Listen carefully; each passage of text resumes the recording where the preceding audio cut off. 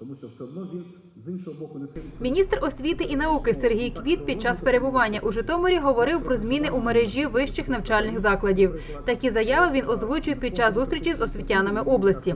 Нині в Україні понад 8 сотень вишів, із яких понад 250 мають статус університетів. На думку міністра, в державі достатньо 40 вищих учбових закладів. Водночас йдеться про підвищення наукового рівня закладів, і кожен випадок об'єднання буде аналізуватися конкретно. Якщо це якісні університети, які відіграють стратегічну роль, то очевидно навколо них мають об'єднуватися інші, які є слабшими, які не можуть давати належну якість і е, які не мають належної матеріально-технічної бази. В такому випадку е, це має сенс.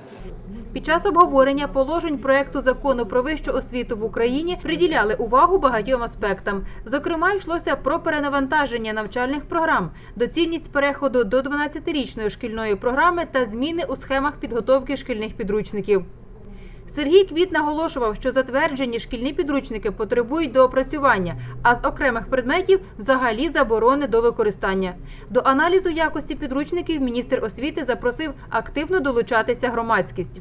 В будь-якому разі ми е, е, змінимо систему роботи з авторами і з рукописами, і е, ми не допустимо таких підручників, де були би помилки. Е, Є один підручник з математики, в якому понад е, більше ста е, помилок. Ті підручники, які явно не відповідають ніяким критеріям, ми друкувати не будемо.